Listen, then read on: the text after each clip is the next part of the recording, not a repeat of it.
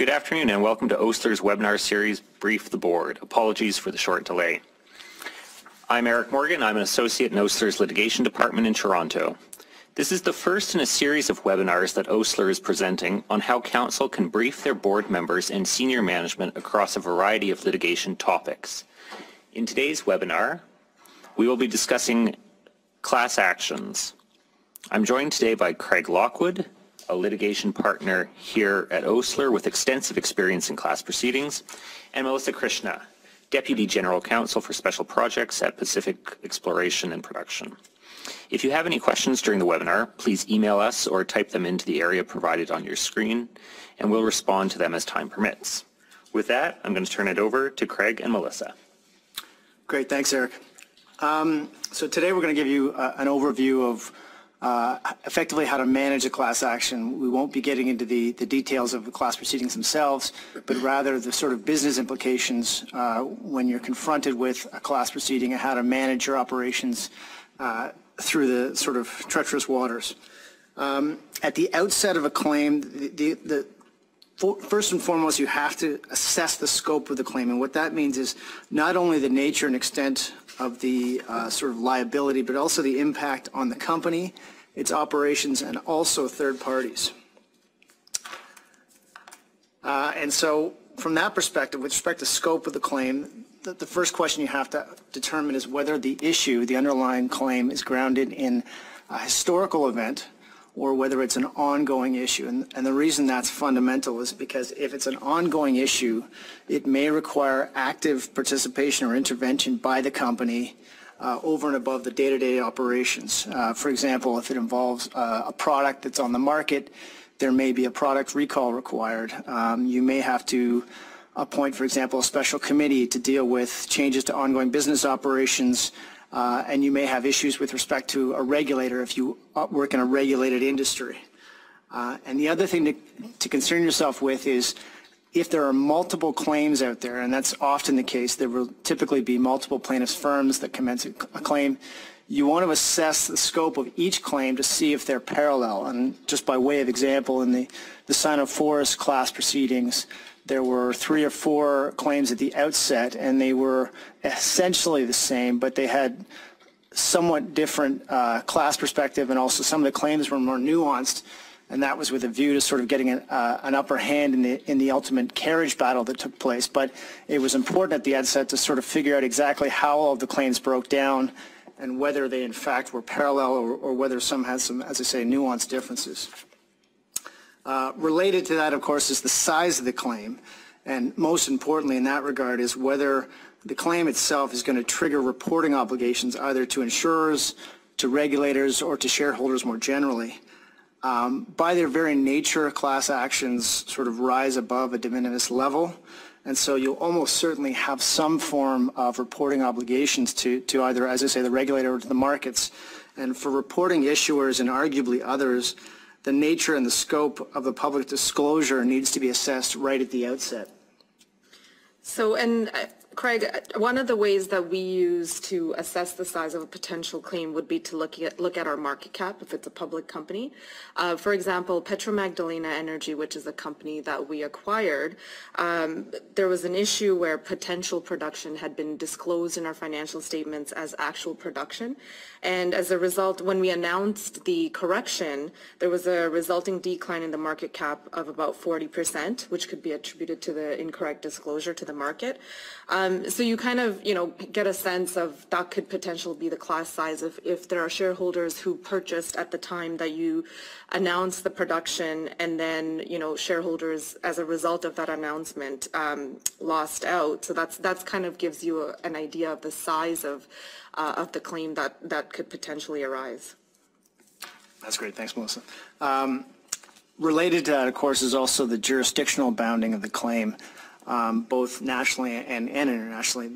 Very, very commonly, uh, Canadian class proceedings will, of course, be grounded on parallel U.S. proceedings. Um, and that's helpful insofar as that may give you some sort of indication as to where a proceeding is headed Oftentimes the U.S. litigation is far more advanced than the Canadian proceedings. Um, they, they, they, oftentimes can be contemporaneous, but, but if we get a little bit of lead time, you'll get a sense of how the courts are responding to the claims and where the strengths and weaknesses of the plaintiff's allegations are, so that will give you some guidance as to where you can expect the Canadian proceedings to go. Um, But, but more uh, sort of domestically, the issue is, are you dealing with a national class? Are you dealing with uh, a provincial class? Or are you dealing with some sort of hybrid where it crosses provincial boundaries but doesn't reach the level of, of a national class? Um, And oftentimes, the other issue is, are you dealing with spillover? For example, if it's a product, um, do you know at the outset where the products ended up? Oftentimes, for example, they'll cross U.S. borders, and that's important because if you're dealing not only with parallel class proceedings, you're also going to then have to deal with multiple regulators. So at the outset, you're going to want to, to the extent possible, identify what jurisdictions are involved and what the scope of your exposure is on that front. Uh, And lastly, in terms of sort of your initial assessment of the claim, you want to figure out exactly what parties are involved. And that's not just the parties to the litigation, that's sort of the, the easiest thing to determine because they're, they're set out for you. But the question is, are there third parties implicated by these proceedings who are not party to the, to the actual proceedings and are not named?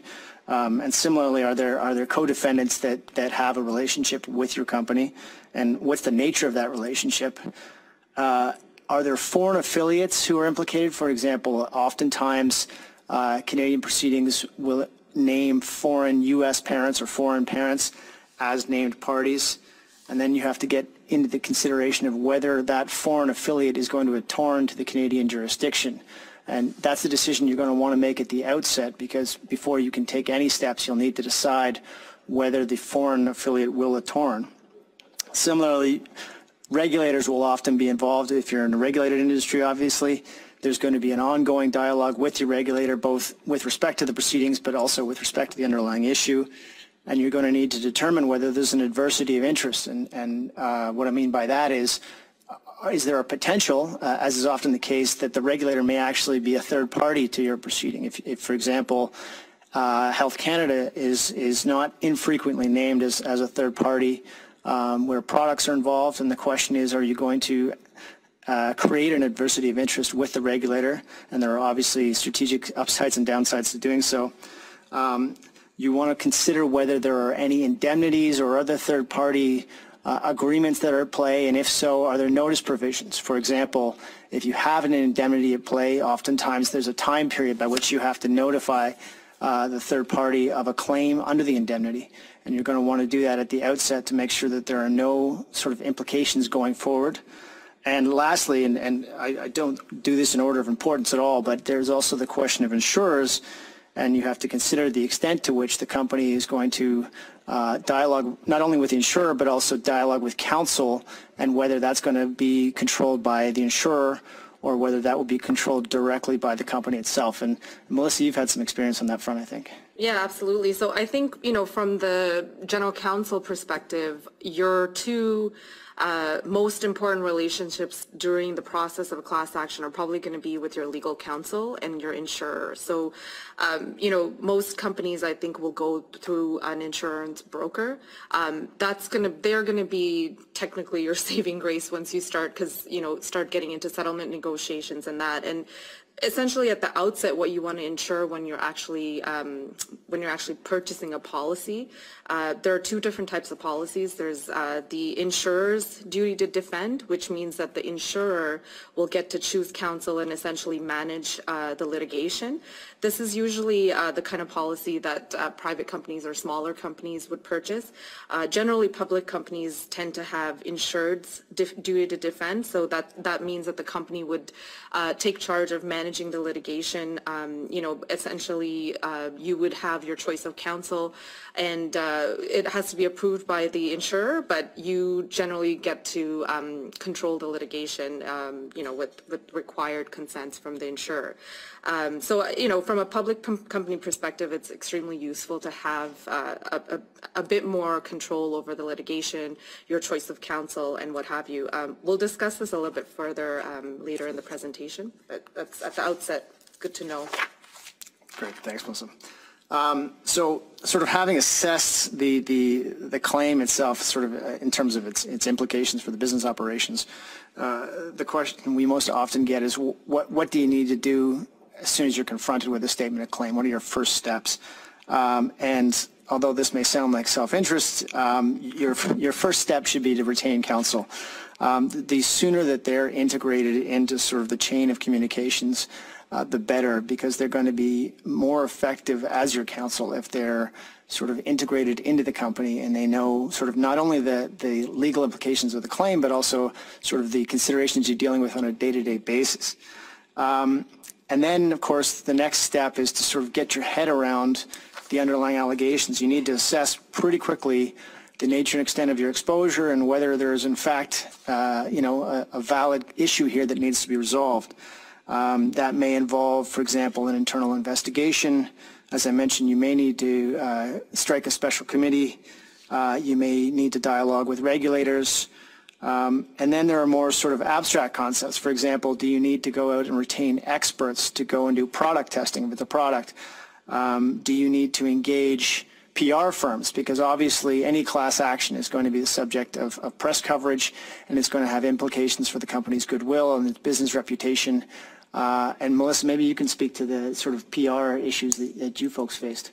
Yeah, absolutely. And actually, um, going back to your point about retaining counsel, I would say uh, it's it's wise from um, from the from internal counsel's perspective to have with your board already identified um, a slate of litigation counsel that's acceptable to the board um, in these scenarios, and it's it's it's just a another preparedness um, tip, I guess you could say, where you would have a pre-approved slate of litigation counsel, and to that counsel you would provide also, um, every insurer has litigation guidelines, um, so you would have, you would provide that to each litigation counsel to make sure that they can comply with those guidelines. Um, as an example, we were using a law firm out of Colombia, South America, and, you know, they were billing us on a flat rate fee, which was not acceptable to our insurer. So they prefer hourly billing so that they can track, you know, exactly the number of hours spent and what have you. So it's just, it's important, you know, um, if you already have that lined up, because you're going to have to react quickly when you're hit with a class action. So if you know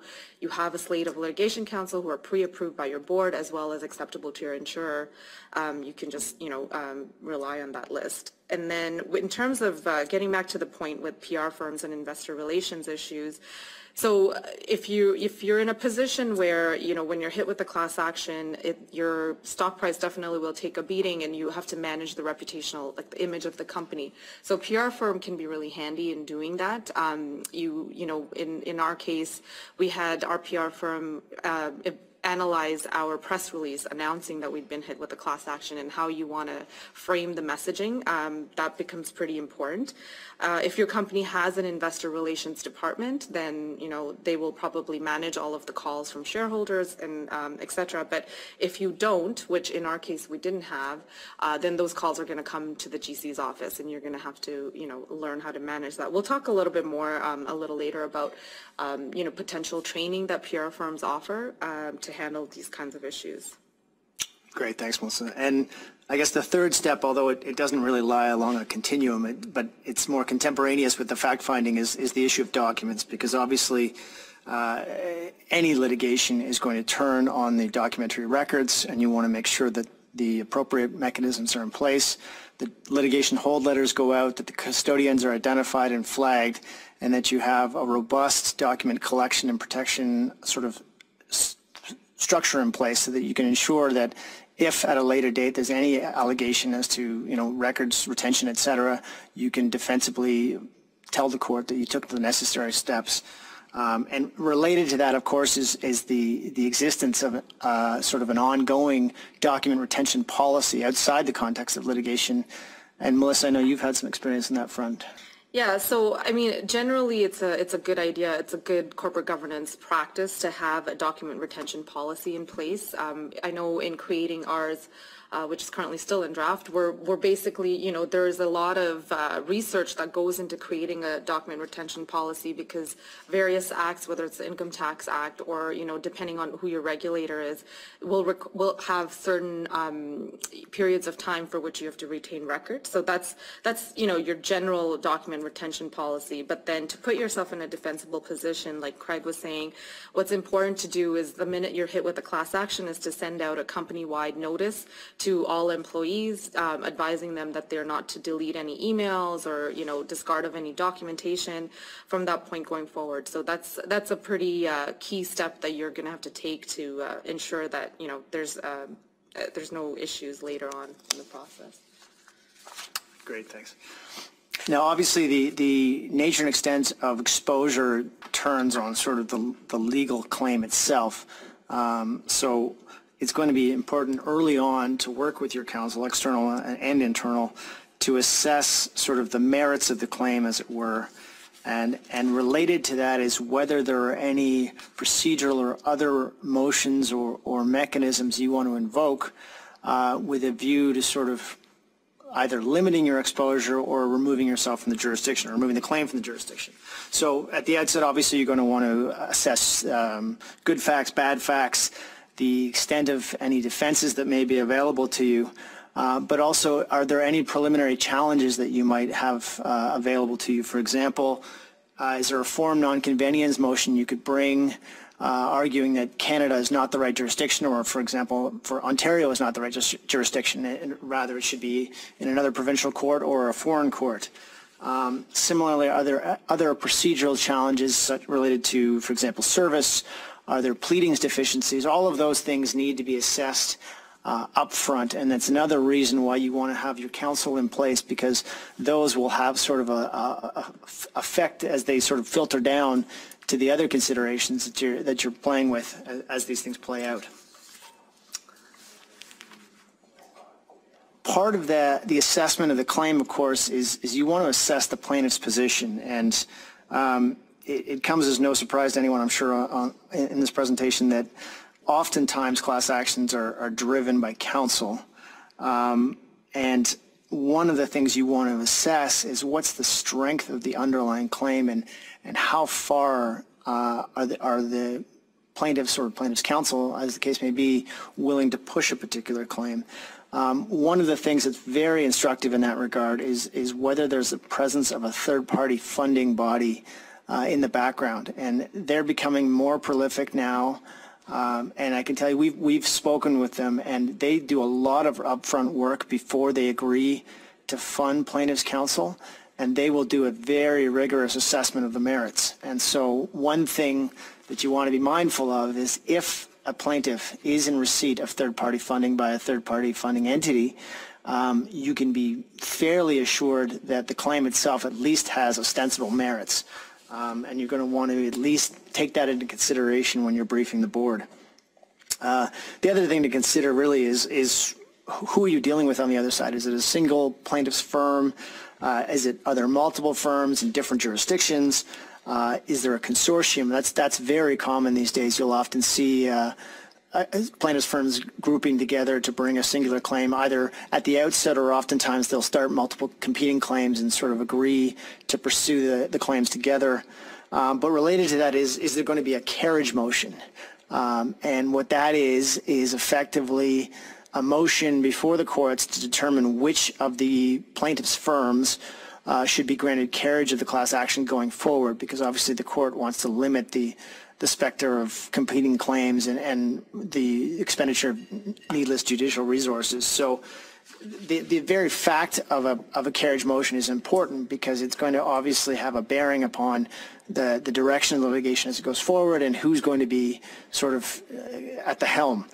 Uh, and related to that, of course, is you, you want to consider the nature of the relationship with plaintiffs' counsel. I mean, they're, they're, it's, a, it's a fairly small bar in Canada, and for the most part, plaintiffs' firms and, and uh, you know, large class action firms on the defense side, they know each other, and oftentimes you can leverage a relationship um, not so much with respect to the merits of the claim or the ultimate disposition of the claim, but rather with review to sort of agreeing at the outset what a reasonable schedule is going to be, how the procedures are going to be managed, and if, if there's a sort of a dialogue between defense counsel and plaintiff's counsel at the outset, oftentimes that can take some of the stress off the company of, of the unknown.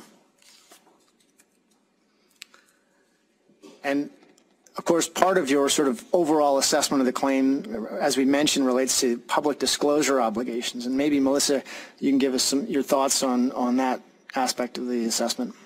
Sure. So um, as a public company, there are obviously disclosure reporting obligations, um, and generally, it, you know, you're required to disclose any material information, and materiality is um, is at the discretion of the company. However, most class actions, just due to their potential size, will uh, generally meet the materiality threshold for a public company. Um, and therefore it would be material information requiring disclosure under the securities legislation. So, uh, but the one thing that, like I mentioned before, that you could, um, you know, because it will be very important how you, uh, how you uh, convey the message. And so an important um, role player in that would be your PR firm, or you know, if you're able to get some consulting on uh, to that effect, that that really is helpful in uh, delivering the message and you know, trying to put not too much of a negative spin on it. Thanks, Melissa. And then related to that, of course, is whether if you're in a, a regulated industry, you have additional reporting obligations to regulators. So this is not uh, public disclosure reporting obligations, but rather, for example, uh, if you're in dealing with a product or a health product, Health Canada has requirements in terms of adverse event reporting and sorts of things. Uh, the CFIA, uh, Canadian Food Inspection Agency may be involved. Similarly, financial regulators may be involved. So you have to consider not only sort of your public disclosures to the to the market at large, but also whether there's an ongoing dialogue or reporting obligations under the governing uh, regulatory regime. So sort of having assessed the claim from a from a business perspective and also from a, a legal perspective, the question then comes what sort of strategic litigation steps do you need to take at the outset? Um, and oftentimes, some of these early decisions will have uh, implications later on down the line. So you're going to want to assess these as early as possible. And, and the landscape can change, obviously. But um, for example, if there are co-defendants involved? Are you going to want to enter into a joint defense agreement? Um, and obviously, each case stands on its merits, and, and, there may be good reasons for doing so and good reasons for not doing so in each case. But it's at least something you want to consider because oftentimes it, it, it doesn't pay to, to fight a war on multiple fronts, and if you're engaged in cross-claiming against one another, it can sort of detract from your joint defense of the, the underlying claim. Uh, likewise, and perhaps more importantly, are there third parties who are not presently at the table that you need to bring to the table? Are there um, for suppliers, for example, or people who, who you have indemnification rights uh, in respect of that you want a third party and bring into the action? Because if so, you want to do that at an early stage and get them at the table as soon as possible. Um, another question that often comes up is the timing of defenses. Um, historically, the tr traditional model has been that you don't file a substantive defense uh, to a claim until after certification.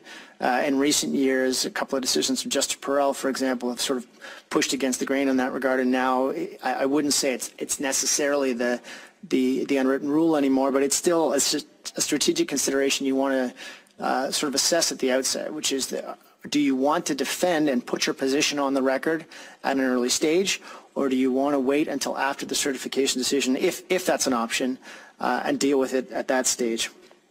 And then lastly, the issue of expert retention often comes into play. Um, and th this, is, this comes up in, in sort of a multiple, uh, on, on multiple fronts. First, just the very fact of retaining an expert who's going to assess the merits of the claim and help you navigate the claim is often important. But on a more strategic level, oftentimes, especially when you're dealing with a discrete industry or a discrete product, for example, um, there's a limited number of experts who are available to opine on certain issues, and it will be important to tie those experts up or to at least retain them early on in the process so that you don't get conflicted out. And I know that uh, we've we've had a number of instances where plaintiff's firm in advance of filing a claim will have gone out and actually retained experts with a view to conflicting them out of the defendant's uh, sort of pockets. So you're going to want to assess very early on, do you need expert assistance, and if so, uh, from whom, and you want to reach out to them as soon as possible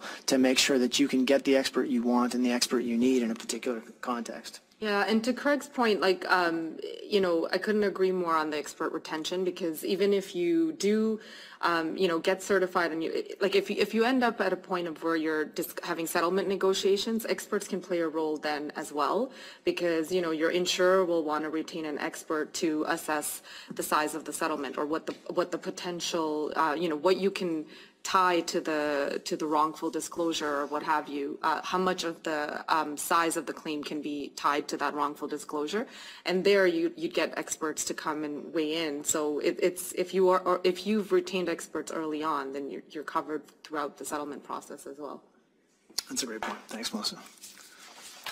So just, I mean, this is by way of recap, but effectively, you've got two contemporaneous streams of action or analysis ongoing. On the one hand, you want to assess the, the claim itself and its implications for the business, the nature and extent of your exposure. And on the other hand, you want to work with your counsel to sort of make the strategic litigation decisions that are at play. Uh, and the one thing I, I, should have mentioned, of course, is you want to always be mindful of limitation periods, uh, particularly, for example, with respect to third-party claims. Uh, and that's another reason why you want to get out ahead of this as soon as possible because the last thing you want to do is find out that um, you know rights you may have had against a third party uh, have expired due to the expiry of a limitation period and that, that you're left holding the bag.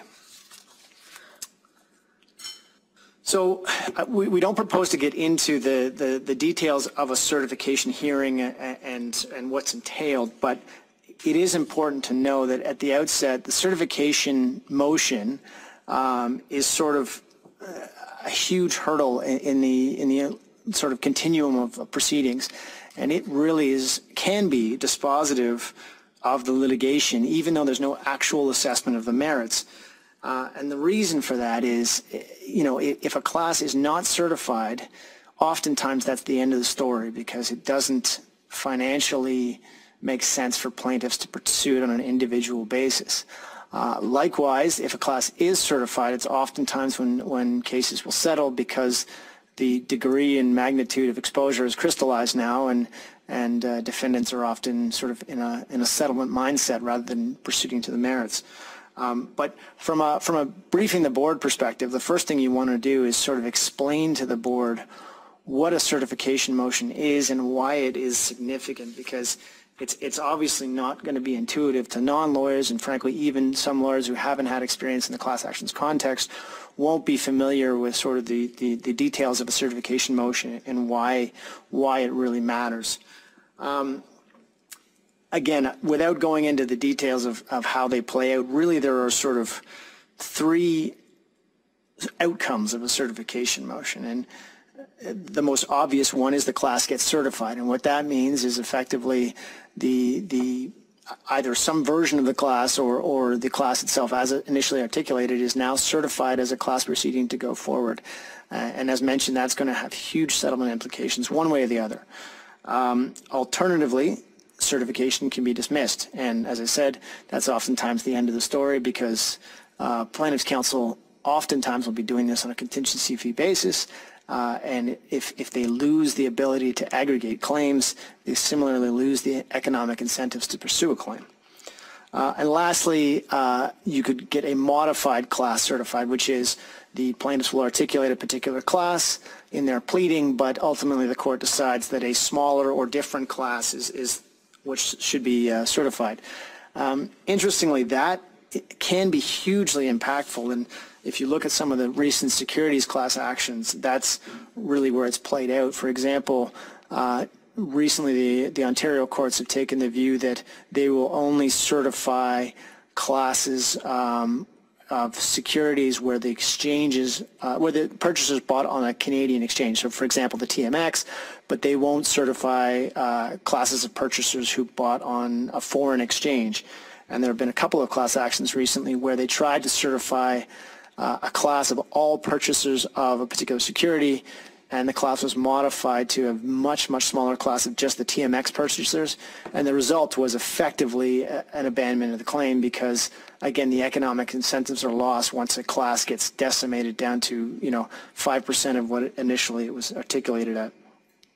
And then the, the, the sort of asterisk to all of this is you, you may ultimately face a, a, certification but in a different form. And what this means is you could have a situation where a court declines to certify a class action, but does so on the basis that a more appropriate forum is, is where the litigation should play out. So oftentimes you'll see competing claims in various provincial jurisdictions, and a court will either stay a claim or uh, decline to certify on the basis that the other provincial jurisdiction or another national class in another jurisdiction is, is the more appropriate forum.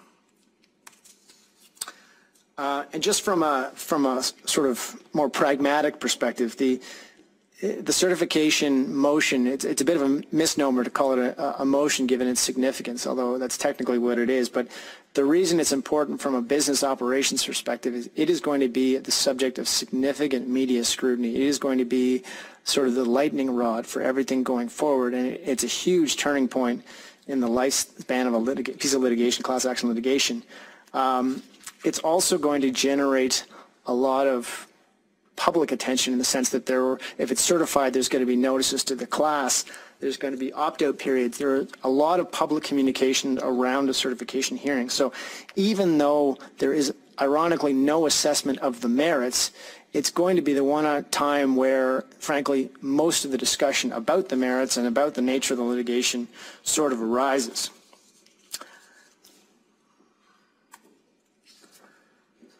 Now, the question that then arises is if a class is certified, what next? Um, and as mentioned, settlement is often what's next because just the order of magnitude is such that oftentimes uh, defendants are, are, minded to structure some sort of settlement. But it doesn't always happen immediately. In fact, it rarely happens immediately. And the, the lifespan of a, a, class action proceeding is, is extremely long. Uh, and companies need to be mindful of that. They, they, it may be that you're living in the shadow of a class action for many years uh, before it gets resolved. Um, and it's also important to remember that there's, frankly, in the common law jurisdictions, only been a handful of class actions that have ever gone to a trial on the merits. Uh, and this is what I mean when I say that, that settlement is, is usually the outcome in the post-certification world.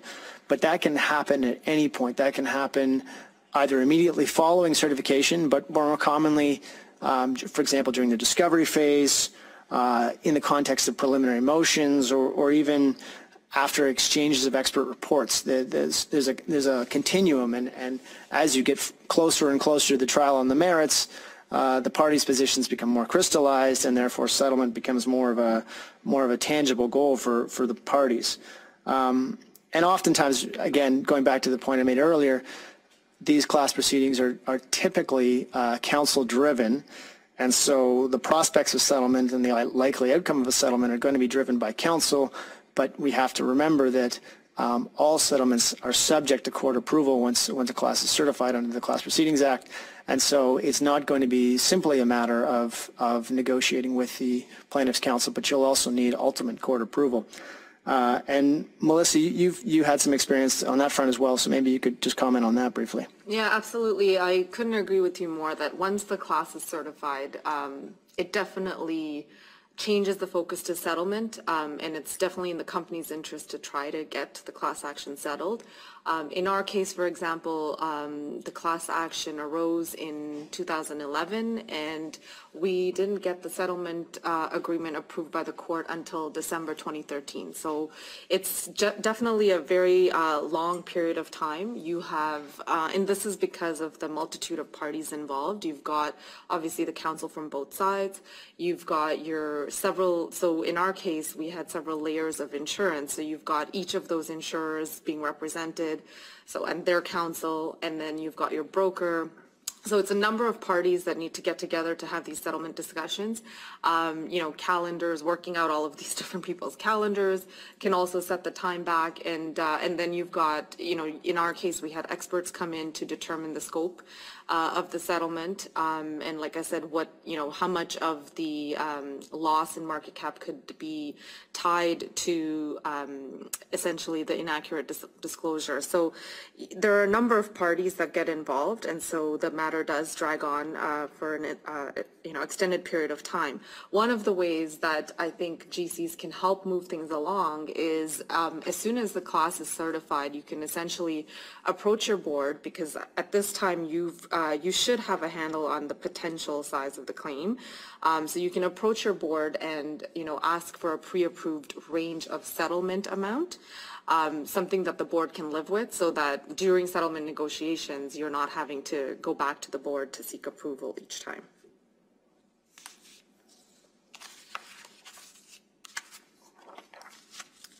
So um, in preparing for a class action before it happens, what can you as GC do? So this is even before you're hit with a class action. How can you make sure that you're putting your company in the best position to um, to face that challenge? So, um, you know, obviously what's going to be relied on in uh, in the settlement uh, is going to be your insurance, your directors and officers insurance.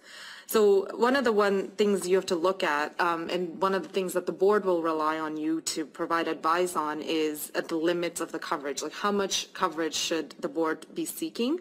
So again, one of the ways would be to look at your market cap and potentially how much movement there might be in the market cap as a result of, you know, any sort of inaccurate disclosure. Going back to the Petromagdalena example from before, um, if your market cap is 100 million and your market cap moves by 40% as a result of your inaccurate disclosure, um, based on you know general settlement ranges, like we settled at about 20% of the 40 million, so it was 8 million. Um, and then you add to that your defense costs, uh, let's say it's four and a half million. So you're looking at a limit of about 12 and a half million. Again, to look at, you know, what defense costs um, are generally, there's, there are insurer stats available. So you can look at those statistics.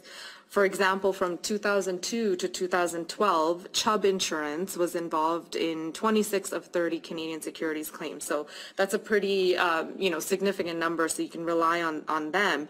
They incurred 36 million in defense costs, with an average of four and a half million of defense costs and eight and a half million in settlement amounts per suit. So that's a good sort of, um, you know, that gives you a general idea of uh, of what you might be looking at for um, limits of coverage. The other way, the other thing you can look at is look at peer group benchmarking. So just see what other uh, companies in your industry are doing. For example, uh, Jones Brown, who's our insurance broker, um, they have a number of public company clients, and so they looked at a number of public company clients across various industries and identified a general trend for us, which is essentially for every $20 million, $20 million in assets, clients tend to carry approximately a million dollars in, in um, D&O coverage for each 20 million in assets. So, you know, there are a number of ways to determine um, the limits of coverage. And again, ultimately it's going to be your board that's going to decide how much coverage they're comfortable with having. Uh, but when they rely on you for advice on that, um, there are a number of uh, guidelines available. The other thing to consider is when you're picking, you know, your insurance policy or you're you're identifying which insurer you're going to work with, um, it's it's very prudent to look at their claims response process. So again, um, like I mentioned before, you would um, understand who has the duty to defend. So you know, it, it's always better if the company can ident- can you know choose counsel and manage the litigation. So that's advantageous for you. Um, then you would look at where the claims authority resides. So by this I actually mean locally. Like, do you, are they is the claims authority resident, you know, in Canada, easily accessible, or there are certain insurers that where they've got, you know, their claims authority residing in New York or London. This just logistically poses challenges. So it, it, if you are able to access them, access the claims authority locally, it'll just help move processes along a lot quicker. Um, finally, you want to have met the claims team and understood their approach to claims management. So there are a variety of, you know, it, again, it, this will, this is where your insurance broker will have a role to play in bringing you together and liaising um, with your insurers so that you do have a good handle on how they manage claims processes. Um, another consideration would be to look at the scope of coverage. This becomes quite key because um, the trend has been that D&O coverage has become extremely broad and generally will cover past, present, and future directors and officers, um, the corporate entity itself, employees as co-defendants, um, subsidiaries, and sometimes outside entities. So it's possible that your entire limit available for D&Os could be completely eroded by, let's say, a securities claim against the corporate entity itself. Um, so how would you, how do you advise your board in terms of how individual directors and officers should be protected? Um, there's a product out there called Excess Side A DIC coverage. DIC stands for difference in conditions. So this type of insurance essentially kicks in if for some reason um, the indemnity agreements provided to the directors and officers is not um, able to be put in put into effect. Like basically, if you if directors and officers are not able to enforce their indemnity agreements, let's say because the company has claimed bankruptcy or there are other legal reasons why the company is not able to indemnify directors and officers, this type of insurance would then kick in.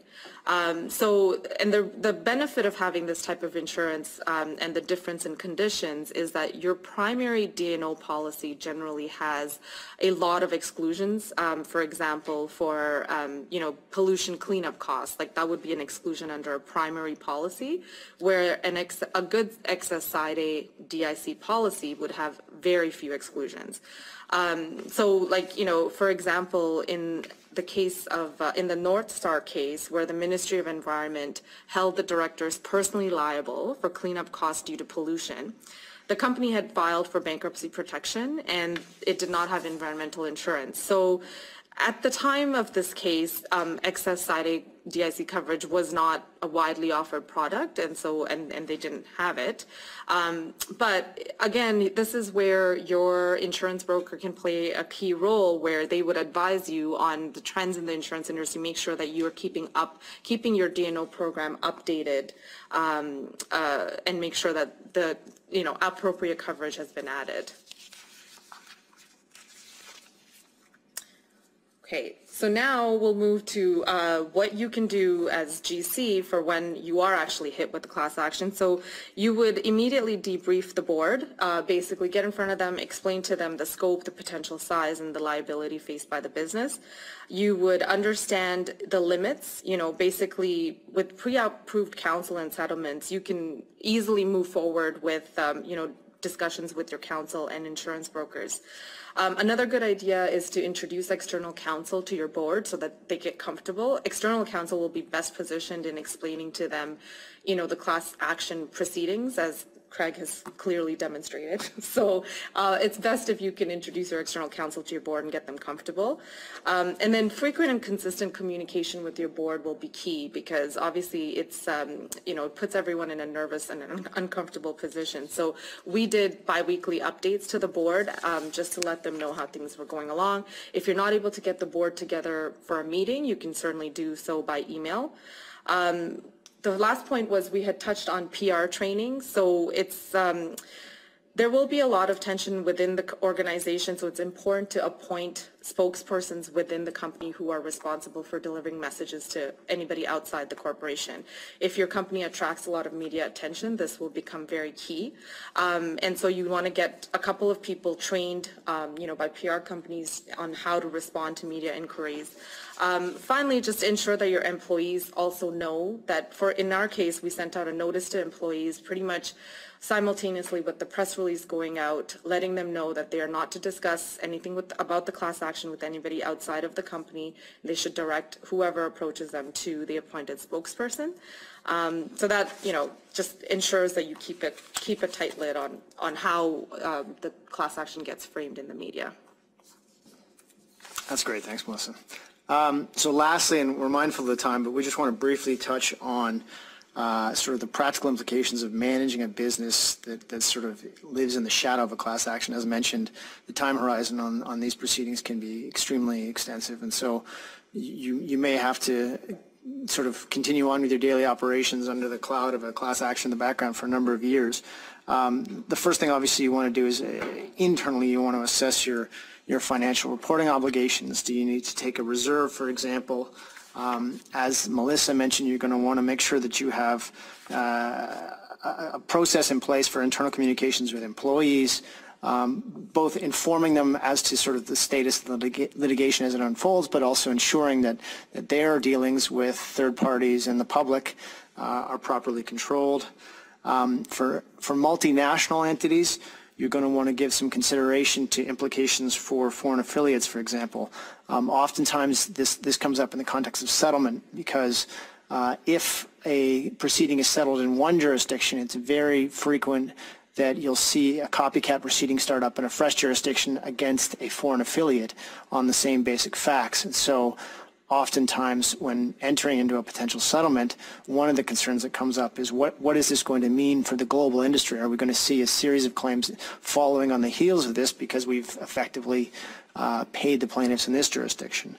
Um, and then lastly, there's the issue of, of insurance costs, and maybe Melissa, you can just briefly speak to that. Yeah, just basically, if you're hit with a class action and then you're looking to renew your insurance policy, it's more than likely that it will cost you more uh, to renew your insurance. So just uh, just a note to say, you know, you want to budget for that and, and note to your finance team that there might be an increase in that cost. And then finally, you're, you're also going to want to obviously consider your external relations as the class action unfolds. Um, one of the complicating factors is oftentimes class members may in fact be uh, sort of a, a counterparty to uh, agreements. For example, in the franchise context, the, the class members themselves are people with whom you're dealing on a daily basis, and that can be very complicated. And there are a number of decisions out there that sort of uh, attempt to sort of delineate the nature uh, and extent of permissible communications um, about the litigation in the context of ongoing business operations.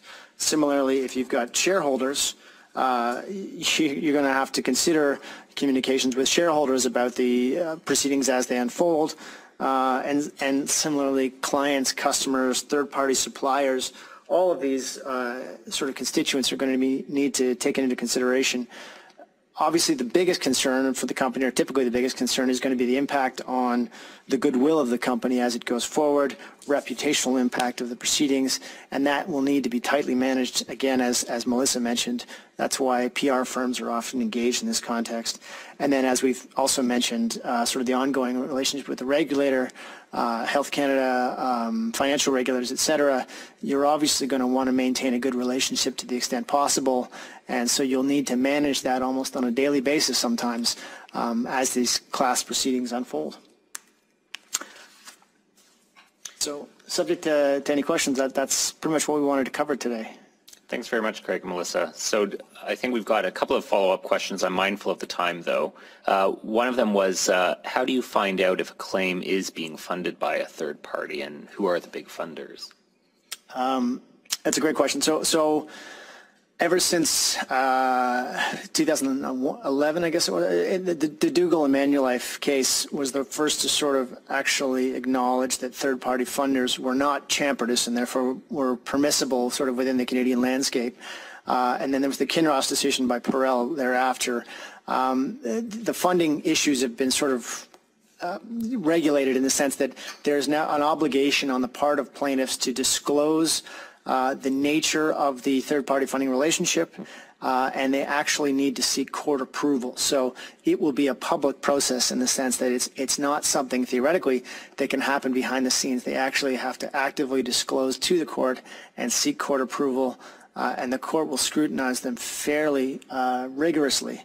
Uh, in terms of who the third-party funders are. There are a number of them out there. Oftentimes they're international and will still fund within Canada, but uh, Bentham Canada is one that is sort of, it's an international entity, but it has recently made inroads in Canada, uh, and, and you know, seeing them come up quite frequently. So again, the, the importance of all of this is, as I say, is really that if they're involved, um, you can be fairly assured that some heavy degree of assessment of the merits has taken place because obviously they're in it as a financial investment and they, they tend not to invest in, in what they deem to be frivolous lawsuits.